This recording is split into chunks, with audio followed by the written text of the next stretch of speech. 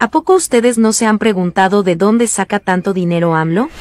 ¿Por qué con Fox, Calderón o Peña Nieto, el dinero no rendía para nada? Con esto nos damos cuenta de la magnitud del robo que perpetraba el PRIAN. En plena pandemia y sin, escuchen bien, sin endeudar al país en términos reales, AMLO está sacando mucho dinero. Usemos una calculadora para hacer cuentas. Construyó el aeropuerto Felipe Ángeles, el cual costó la módica suma de 75 mil millones de pesos. La refinería de Deer Park nada más costó 32 mil millones de pesos. El tren Maya 230 mil millones de pesos. Refinería de Dos Bocas, la módica cantidad de 196 mil millones de pesos. El aeropuerto de Tulum 985 mil millones. El corredor interoceánico 3.900 millones de pesos. Se destinan 278.180 millones de pesos para el pago de pensiones para adultos mayores. En los dos primeros años de la 4T, el SAT recuperó adeudos por 736 mil millones de pesos. Se han destinado, solo para este año, 8.552 millones de pesos para la construcción de nuevos hospitales. Se destinan más de 70 mil millones para las becas escolares el gobierno hizo un pago histórico de más de 80 mil millones de pesos a los intereses de la deuda externa. Se destinaron 200 mil millones de pesos para la construcción y rehabilitación de hospitales. Se han asignado 78 mil millones para la construcción de carreteras y caminos rurales. El tren Coatzacoalco-Salina Cruz, 4.164 millones de pesos. Bueno, si sumas todo eso, te da la impresionante cantidad de 2.976.796 millones, lo que demuestra que alguien que pueda lograr hacer eso, sin pedir prestado a nadie, en lo personal es un chingón.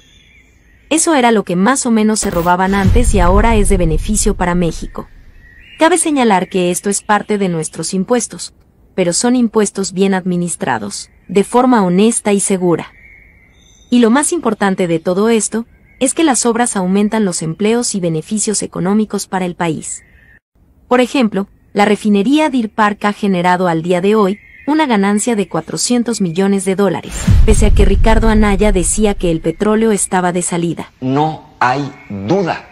El petróleo va de salida. Muchos pensarán que AMLO tiene dinero escondido, pero realmente una gran parte del dinero ha salido de la promesa de ahorrar 500 mil millones de pesos, gracias a su política de austeridad y el combate a la corrupción. José Antonio Mid, que fue secretario de Hacienda, aseguró en ese entonces que era imposible, pero llegó a AMLO y le demostró que sí era viable, pues a finales del 2021 lograron ahorrar un billón 500 mil millones de pesos.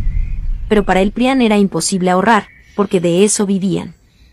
Para que tengan un punto de comparación de cómo el PRIAN desaparecía el dinero, Calderón gastó 345 millones en los famosos detectores moleculares, que solo eran juguetes de plástico. Además, se gastó más de 42 mil millones de pesos en publicidad, y esto es un solo ejemplo de un gran etcétera. Por otro lado, Peña Nieto rompió el récord, él se gastó 60 mil millones de pesos en publicidad. Todo ese dinero pudo haber sido destinado al pueblo, pero para ellos su bolsillo era la prioridad.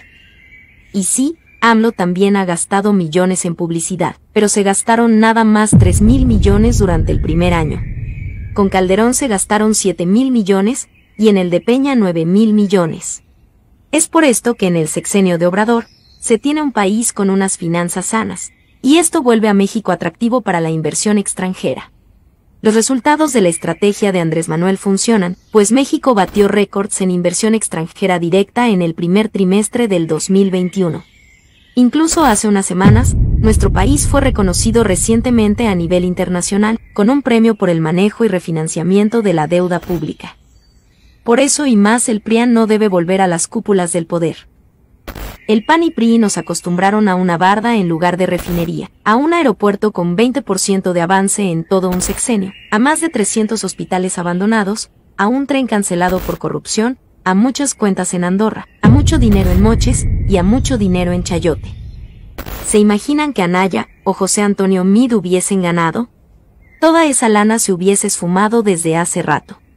Y asegurarían que el dinero no alcanza y que son necesarios los gasolinazos para la economía del país.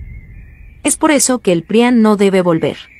Tuvieron más de siete décadas para cumplir lo que prometieron. Por favor los invito a suscribirte al mi canal de Emanuel Maldonado, compartir flecha hacia la derecha y activo la campana todas dale pulgar hacia arriba muchas gracias.